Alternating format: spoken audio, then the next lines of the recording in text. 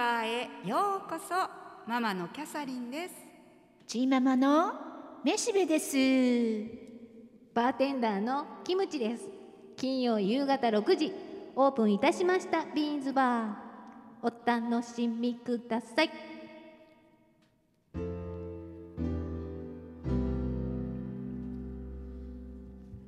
キャサリンママのちょこっと。行ってきました。おい。今回は、はい。ええ。あの糸島のかき小屋にあうわ決まりました。楽しいいな。栄養とってるな。う んそう1月いっぱいまでねあのひろちゃん垣っていうところにカフリのところにあるんだけどかき小屋に行ってきたんだけどええ。そこが1月1月いっぱいやったかな。いや1月二十何日やったかな。なんか20 LINE 会員20%引きかなんかになってて、え。なんでそれ。いやいやあの LINE で送られてくるんですよ。え。お正月はねなんかお正月あのふ福袋じゃないけどプレゼントとかなんかがあって、なんかなんか海鮮物の一皿まるまるプレゼントとかね、あったんだけどお正月はさすがにちょっと行けなかったので、え20%引きって多くない？って言って。うんいいね。ん。であの娘たちも連れて行ったんだけど、うん。まああの娘がね去年の暮れに、うん。うん。二人目を産んだんですよね。おめでとうございます。生まれましたですね。お孫ちゃんが。うん。うん。でそれまでほらあの生もの海鮮の刺身も食べられないとかうんうん食べないもなんとか言っててねあの牡蠣とか大好きなんだけど、うん。ずっと我慢してたからね、じゃあ20%引きだからうん。あの 連れてってやろ。うほらもう焼き牡蠣もほらあんまり焼くと美味しくないじゃないですか。うん。そうね。ね。カラカラになっちゃうそうそう。からねパッと開いて、うん。ちょっとほぼこうトゥルンっていうね、うん。あの、生感覚のような、うん。あんなのが美味しいから、うん。やっぱ全然食べれなくってでそれでみんなで一緒に行ったんだけど、うん。1234大人5人と幼児赤ちゃん4人うん。で行ったんだけど、うん。大概食べてあのはあ。なんかこうなんていうのカルボナーラじゃないけどなんていうパスタとかもあるんはいですよ、えー今ね。小屋今。うんうん。でアヒージョとかね、いろいろちょっとシャシャレトンシャーうんね、ただ牡蠣焼くだけじゃなくって、いろいろあるわけ、アヒージョにフラフランスパンとか、そんなのも大概食べて、へー。1万ちょっと。え？安いね。あそれ一人いくらのセセット料いやいやいや違う違う違う。もう牡蠣牡蠣を何杯まあとりあえず持ってきてあうんじゃあ追加でこれこれこれけどそれもねうん。LINE で追加するんですよ。LINE で。へえ注文全部 LINE でするの。好き勝手に LINE でこうしてさ。なんかもう今ね牡蠣小屋もねすごいね。ハイテクなの。でお会計行ってもさうん。LINE 見せようと思ったら、うん。なんかちょっと電話が入ってとか言ったら、うん。大丈夫ですよこっちで分かりましたあそうですねって言って。で1万いくらであ20%引きでうん。1万880円やったかな、安いね。安い。ねのよ元取れるのかなって感じよね。それな前にこう行ったことがあってお友達になってたとかあそうそうそう。前やっぱりね。去年行った時はいはいにそれこそあの注文が LINE だから、はいはいはい。はいまず LINE を登録してくださいってなるから、うんあのテーブルの上に何ていうの QR コード、LINE のうん QR コードのがあっうんてそれを読み取ってうん「おー」って言ったらほら寿司屋に行ったらパッドが置いてあってうんそこにメニューと出てくるはいもんねあれが自分の LINE っていうか自分のスマホ上に出てくるわけ。へでこう見て全部あのこれで注文してくださいねって言ってそれで「へえハイテクやね」とか言いながら すぐ持ってきてくれて。へーそそしたらうん。一応ほらお友達にもなってるから。うん。毎回送ってくるわけ。えカフリカフリカフリカフリの？方です。なんていうところですかひろちゃんがき。うん。カフリの？ひろちゃん柿うん。カフリはね住吉丸っていうのももう一つあるんだけど住吉丸さんの方が大きいかもしれないね。テント住みたいに吉なっとっちゃろ？いやもう立派な小屋ですよ。小屋っていうかまあプレハブ小屋、全然寒くないよ。だからまあ前でこう火焚いてるし。そうね。へしばらくもう少しは牡蠣のシーズン。そうね。ね。R のつく月まではいいっていう上もね今ー四回？あの4階も今牡蠣やってますね。牡蠣小屋うにん。なってます。へえいいね。うん。うんまあ20%引きじゃなくても安くない？安いと思う。それは糸島の牡蠣小屋まで行けばね。大人の五人？5人5人。すごいわ。まあ飲み物はお酒は飲まんからね。お酒はね、えうん。確か持ち込み可なんですよ、えー。うちはハイボール持ってきましたよ。でほら幼児はほらあんなとこ飲めないから、赤ちゃん用の麦茶だの、うん。はなんだの持って行って、あはいはいはいフランスパンがねいまいちだったから今度は美味しいフランスパンを持っていこうって食べ物も持ち込み？いやそれはない多分ないとは思うけど、でもなんか前はうちの娘が言ってたけど、職場でいっぺん行った時は、うん。それこそまだパスタとかなかった時に、うん。パスタとか、うんなんか野菜とかも持って行ったり、持ち込んでそこで焼いて作ったとか、えなんか持って行っていいっていうところも結構あるうん、ね結構ある。糸島のかき小屋はね勝手に自分で結構持ち込み OK のとこ多いんですよね。うありますね。まあ進化してるんだ。うん。なんかね。ここ何年か良行ってないね。やっぱり。かき小屋ね。かき小屋ね年に1回は行かないとあ 福岡住んでたらへ わかんないけど。上でいいや上で美味しいもんね。煙いけど近いし。ね。うん近いしまあねあのうん。ほら車のガソリン代とかいろいろ手間とか考えたらまあ。ね博多南駅の上で十分だとは思うけど、まあ、人数の多い時とかさうんうんなんかおなんつうの？うん。食べる人が結構いっぱい食べる人がいる時とか牡蠣をね。それはいいかもですうんねいいかもしれない。やっぱ海海辺で食べた方が美味しいよねこうなんか駅の上で食べるより？まあね雰囲気はありますよね。ね。雰囲気はありま潮すけどね風のなんていうのん香りを漂わせてるところでしょ、漂ってなかったそれこそ雨の日だったんで。あそういつも雨やねうん最近今まねいつもでさ雨やね天気悪かっ最たもん近天気悪かったよそうねねずっとねあ最近つい最近行ったとつい最近うーんそれはそれは、へまあねねぜひいいね。ももう一回言おう。かカフリの？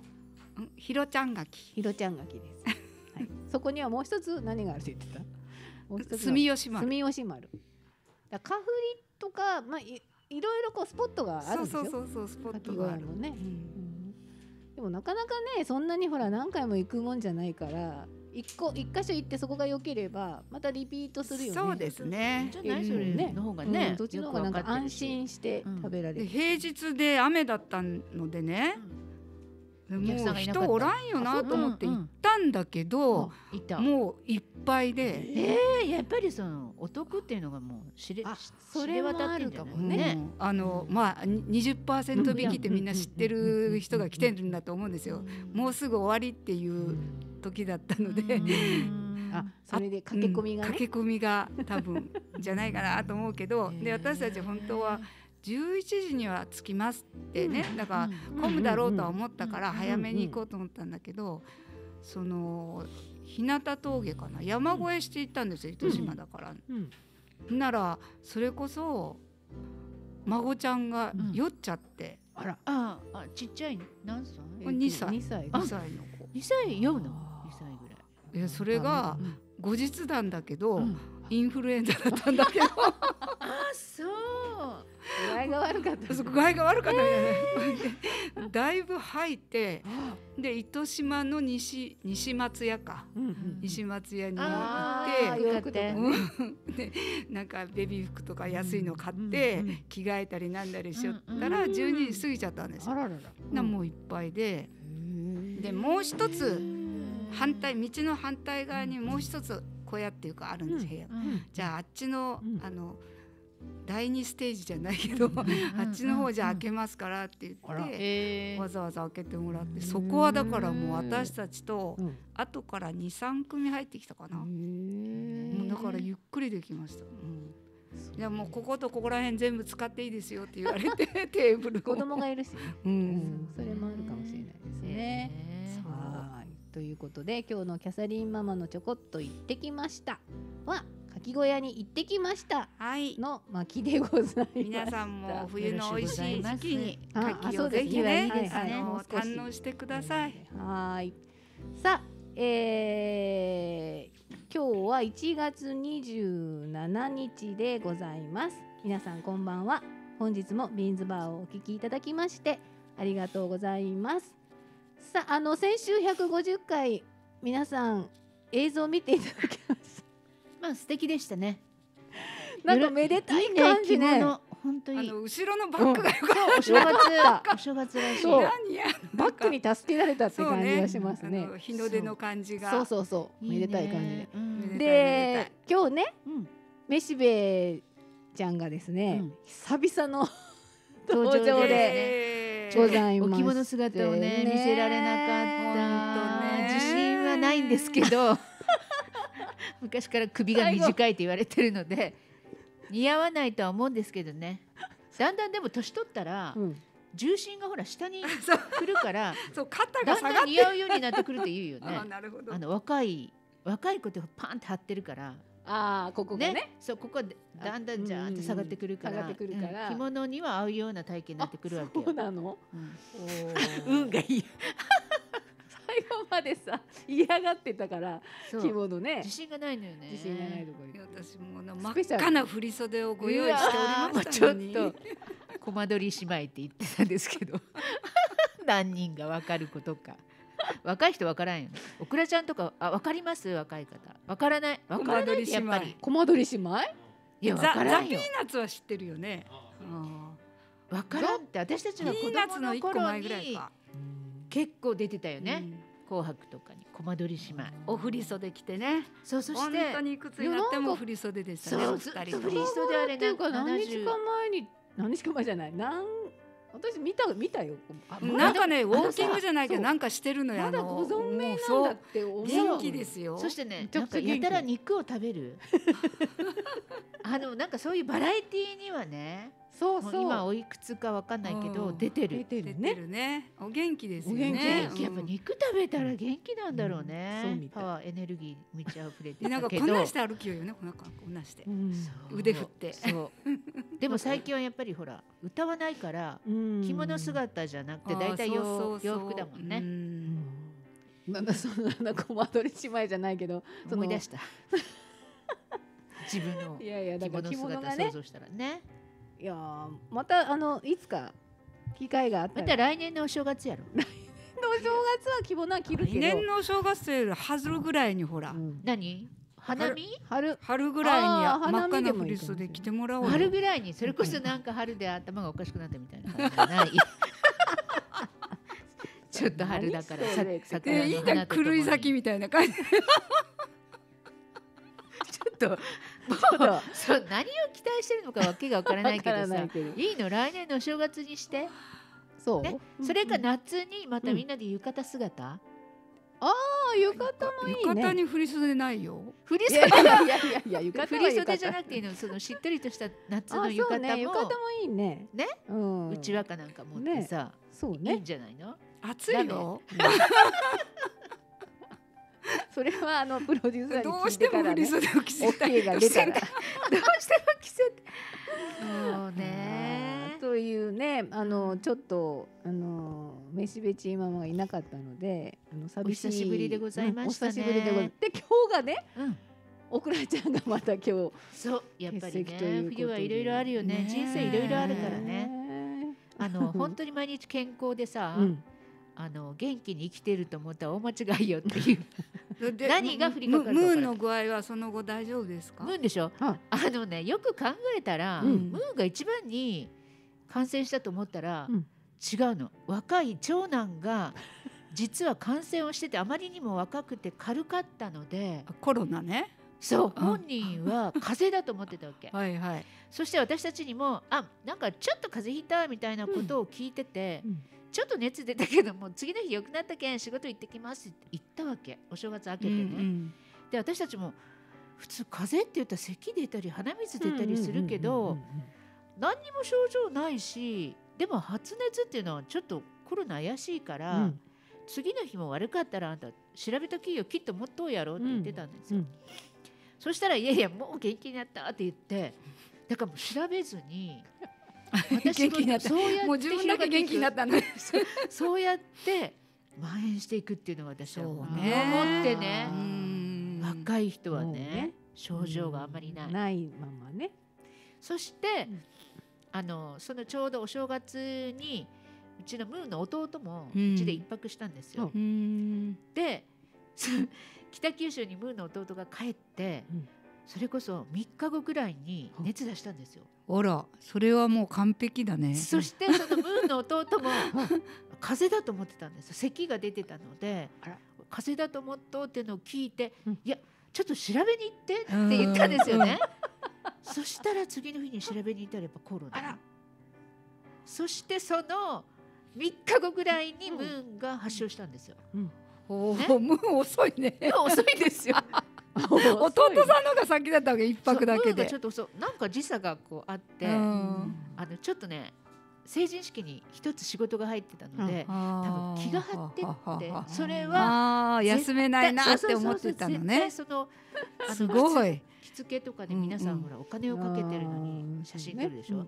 でそういう気の張り方も多分あったと思うけど、弟があの熱出した3日後ぐらいにうん。ムーンが熱出して、でどんどんどんどんほら熱が、あの前回の収録の時、うん。上がってきて、うん。私インフルだと思ったんですよ。うんうん。いやインフルやったら早く、そうタミフルがねいいのを飲んだらすぐあの次の日そうそう。下がるらしいよって言って、まあ、私が連れて行くって言って連れて行ったら、なんと陽性だったんです。そうそう2つとも検査しましたよ、はい。はいインフルも、うん。ねコロナ。もだなんか最近の看護婦さんってあの昔みたいにほら珍しくないでしょああの陽性だったんです。じゃないんですよね、なんか爽やかな感じで、あうん。陽性でしたよ。あそうそうそうそう。はあみたいな。あコロナですねみたいな。陽性ですって言ってそんなになんていうかな怖がりもせず、あまああのほらフェイスガードはしてましたけど、私私が聞こうかなと思ったら、うん。私じゃなくてもう本人のとこに行って、まうん。ああの車の中でね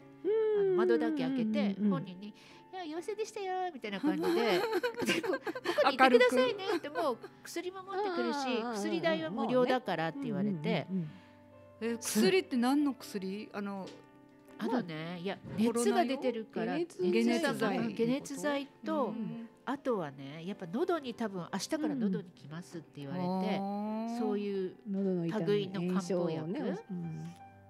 でかあの看護婦さんは外だからいいけど私車の中に一緒にいるじゃないですか。ゲーと思ったんですよ。これもう絶対もう、うつ今映るっていうよりももう映ってるだろうな。ね特に弟ももう発症しました。ね、あの長男ももうすでに発症してうろうろしてます。うんわけも分からずね。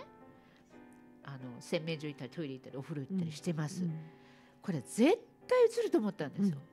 うんそしたら映らなかったんですよね。なぜだかわからない。なもろ狭い家ですよ。いやなんか豪邸じゃないです映よらん人は映らんらしいですよつらんっていうか症状が出てないだけなんじゃないかもね。それこそ。それかもだからキットをねああそうね会社の人がうちはしないといけんちゃんとから届けてくれたんですよ。でちゃんと毎日検査して、うんうん。陰性が2日だったら仕事出てきてくださいって言われて、うんうんで自分でももうキット買ってたのがあったので、毎日検査してずっと陰性。で別にどうもないから、うん。さ熱でも出たらね、うん。ちゃんと病院行って調べるけど。実は一番最初だったっていうかあの いやなんかわからない。あのボディが強かったのかもしれないし、なんかやっぱかからない人はかからんらしい本当にあの近くにいてもだよね。でちょうどお正月にね。お孫ちゃんとお嫁ちゃんも来てたんですよ、ううん。ん。で4日間ぐらい泊まったんですよ、うん。だけど2人とも全然何も出なくて、うん。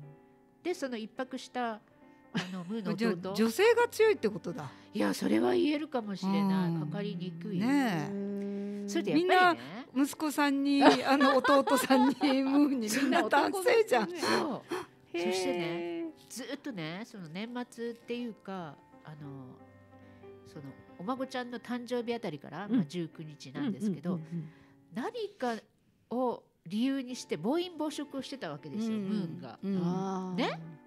で年寄りなのに私こんな暴飲暴食して大丈夫かなと思ってたんですよ。うん。調子に乗りすぎやないと思ってたんですよ。なんか年末だからとかクリスマスだからとかね、なんか毎日毎日なんか言ってワインこう並べたりして自分で俺ちょっと清水の舞台から飛び降りて博多駅のねあのなんだっけ デパート。うん。阪急？そう阪急で初めて俺ね高いお惣菜買ってきた。あびっくりした。あめっちゃ高いっちゃもんとか言いながら高級なお惣菜並べてよ、うん私この人ちょっと、もうすぐ死ぬんじゃない？っていうぐらい。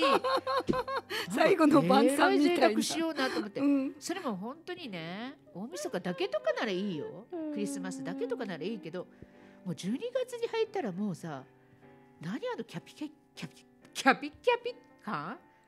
それでずキャピキャピキャ知らん。もうねすごい男飲んで食べキャピキャピキャてンね。そう若い人ぐらい食べるわけ。はね？で夜も遅くまで起きててギャッギャハハ言ってるわけ。何があったっちゃろう知ね。らん私この人大丈夫とか思ったらやっぱりほら弱ってるのよ。ね抵抗力が。全体的に。ね。でムーの弟も酒飲みなわけ。すっごい。あそしてすっごい喋るわけよね。だから体が弱ってたのかもしれない。もう一泊しただけで映ったから、でも女性は割とそういうとこあんまりほら暴飲暴食もしないーし、ちゃんとほらあの生活もさちゃんとほらパターンができてて、うん。そんな崩れたりしないでしょ？私も崩れないから 映らなかったのかもしれない。いやーね。よかったわねでも。よかったよあれなんかねものすごく喉が痛かったって言った、え大変そう。なんかね甘く見とったって言ってましたよ。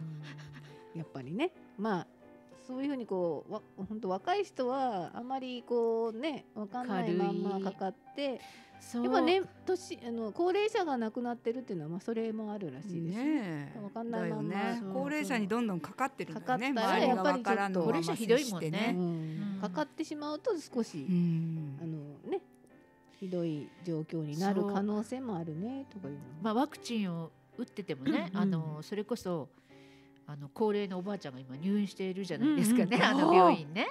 でやっぱり、うんあのいつだったかな年末にうん院内感染したわけですよね。うんそれが良くなった。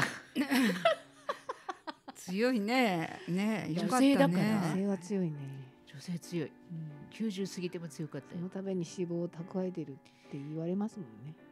あーやっぱなんか遭難しても女性の方が生き残るって言いますよ。じゃあの脂肪はやっぱり大事？脂肪大事なの。じゃあダイエットとかせん方がいいよね。ねまあ過度まあなね。て適度な脂肪ねうん適度な脂肪。適度じゃあたくさんあったら4人でうん遭難したらやっぱおくらちゃんが残っちゃう。残るんじゃない？若いし。若いしね。若いしうわ若いし私世話をしてもらわないかんみたいな状態になるよそうね。4人で遭難しに行くことはまずないな。ちゃん聞いてますか？本当ね、ちょっと早く元気になってね。ねそうです。てほしいと思いますよねねインフルもね今また流行ってて、うんそれこそうちの孫の下の子の孫うのん保育園がもうねほとんどの子はインフルなんだって。い そやれでそのまあだから園にちょっとやらん方がいいと思うからっていうのでうちに泊まりに来てたんですよ。そのう映ってた。かき小屋の時にね。でじゃあかき小屋連れて行こうかっていう風になったらそのそのかき小屋から帰ってきたらさ熱があるっていう話になって。もうずっとったってうん、ねそうだからもう39度ぐらいあってあーこれ絶対インフルやんとか言いながら、じゃあもうほらもう一人ちっちゃいあのうん。赤ちゃんがね。9月に生まれた赤ちゃんもいるから、その子と隔離しとかなねって言って、だからそのインフルになった子とうん。お母さんは2階で寝て、でまあ赤ちゃん。お孫ちゃんちっちゃい赤ちゃんは一応、お母さんが縦になって反対側に寝てみたいな。で昼間はずっとだから下で私がお世話してあのおっぱいをやる時だけね着替えて。お母さん。あ こうインフルの子を抱っこしたりなんかずっと世話してるじゃないですか。うんだからおっぱいやる何時間期間におっぱいやりに来る時その上の子を接してた服を脱いで。へであの赤ちゃんのおっぱいやり用だけのうん。なんか T, T シャツかなんかに着替えてえでやってでまた行ってとかね。すごいうん。結でも局ママには映んなかったママにも映ってないみたい。よかったけど。よかったちっちゃいね子ちっちゃい子の感染力薬あるあんまないいやあるんじゃないかな、うん、次の日病院に行って、うん。それこそタミフルだったよ。あ、そっか。うん、幼児用のタミフルかなんかあるらしい。用紙はあるんだ。ねうん、ですぐ熱も下がったけどね、でじゃあ熱下がったからもう実家じゃなくて家に帰るって言って、その後がさだから2階の部屋を全部窓開けま離して布団からなんから全部洗ってなんか消毒め、ね、除菌のなんかファビリファブリーズみたいのかけまくって、うん、丸1日半ぐらい開けまくってたかな。自分たちにも映んなくてよかったね。そうそう私たちはねもうだから、年寄りが映ったらまたきついもん。分かった途端にさ、家の中でも全部マスク。ああそりゃそうよね。そりゃそうよね。でなるべくその子には近づかないあーだけどね。大変。なんか寒い時期って、まあ、インフルエンザ、えっと、3年ぶりのうん。あの流行ね大流行してますけれども。ねななんでかねみんなマスクしとるのになんでうつ時はね。るとかいやだからそれこその保育園とかはあほらマスクしないじゃないですか。子供もね。であのこ過去2年間インフルあんまり流行してなかったでしょ？だから免疫っていうの？うんそれがないんだってそうあの幼児たちそう耐性がないってことですね。だから結構流行ってるみたいよ。かわいそうだね。ねえ。お孫ちゃん気をつけてね。本当本いやう当ちももうもう、ね、預からない絶対なりそうな気がするなそうよね。あの保育園はやっぱりねしょうがないですから、しょうがないね。ちっちゃ密着度もすごいし、ね、そうそう。ね。うん。分からんもんでね。ベロベロベロベロしてるからね。ちっちゃい子はね。か舐めたりいろいろそうおもちゃね。はい、ということでもう1月の27ですよ今ねえ早いですね。日1月が終わって。そそうよ。まああのー旧正月的に言えばえっ、とやっともうちょっとねお正月になったってね、うんなったっていうような感じで、まあ2月のお節分であの入れ替わるみたいなね感じでしょうけれども、いやー本当なんかわやわやしている間にう早いよね。に1月早いっちゃ。なってしまいましたけれどもね、うん。皆さんそのいろいろね具合が悪かったり寒かったり、そうね、まあ、ね。大寒波が来るらしいしね。うん。最強寒波今年ちょっと雪積もるよね。そうね、去年あまり積もんなかったけど今年積もるね。去年はもう全然降ってないよねこの中川では珍しく降らなかった今年は一回一回あったね。積もった12月にうん一回ありましたけれどもね。でまた1月。積もったよ。2月ぐらいまで。あとはもううん。34月になると、まあ、ママの大好きなお花の季節がね。お花。うわー。いやもうもうもう菜の花とか咲いてるから、そうでしたそうでした。あとはね。あれ何、うん。河津桜とかももうそろそろ。あー。早いもんね。そうそうそうあれ2月？う。ん河津桜。河津桜早いよね。早い。ない。よねもう3月初め頃なんだけど、ん。例年はうね、んうん、なんかポチポチ。宮地だけの開運桜やったかな、うん。もう先よっていう話、へ開運桜。そうね。で、うん。まあ受験シーズンだなって私そのあこれ話してね、うん。なかったなと思ったけど本当今受験シーズンなんだなと思ってこういう厳しい時期に本当受験いかんよね。ね。ちょっとでもヒヤヒヤよね。流行ったりねなんだりしたら体調だけ親大変よねまた体調管理がね。そう。みんなね。それこそ隔離しロナになった人はさ、うん。ちょっとずらしてうん。受けられるようにそなかうんそうそうなってそうそう、るもんね。うん、そういう措置はね取られてみてる、ね。あのうん。と思いますけど。まあ親も、まあ、本人が一番大変だけど、ね、まあ親もわドキドキしてるようなね時看期でもねねありますから。まあ美味しいものをね牡蠣じゃないけど ミミネラルちゃんと取ってね皆さんがあの体力をつけてうん。この冬をね乗り切っていきたいなというふうに思います。はい。まあおばちゃんたちも頑張ってもうはい少しね、あの 元気で過ごしましょう。そう。おくらちゃん待ってますからね。しばらくはちょっとね出てこれないかもしれないですけどれどもね。はい。ということで今日はこれで閉店といたします。ありがとうございました。久しぶりやったらあ。鼻鼻水の。あそうね。それもあったかな